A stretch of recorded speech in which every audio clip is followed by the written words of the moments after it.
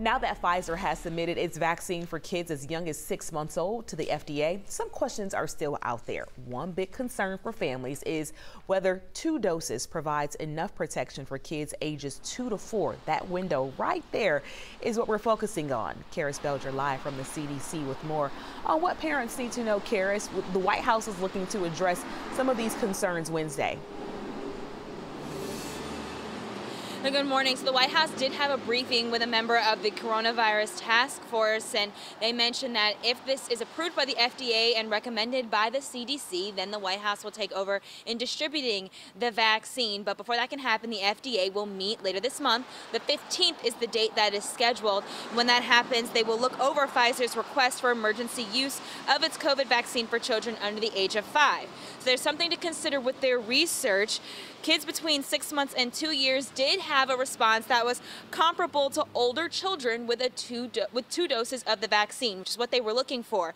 However, that was not the case for children between the ages of two and four. So six months to two, they saw the results they wanted.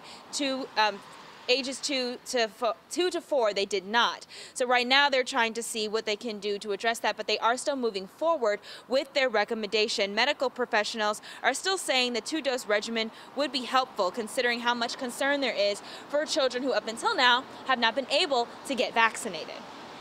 The COVID vaccine, if anything, is under more scrutiny than ever before, and we just haven't seen major concerns with safety of these vaccines.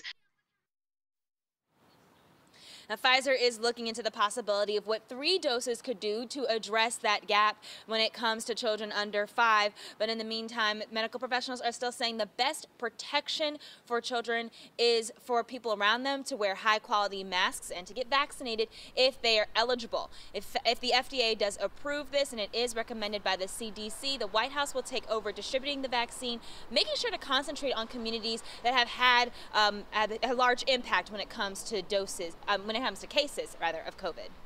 All right, Karys, a big focus on the little ones right now that could really be a game changer. Thank you for those updates.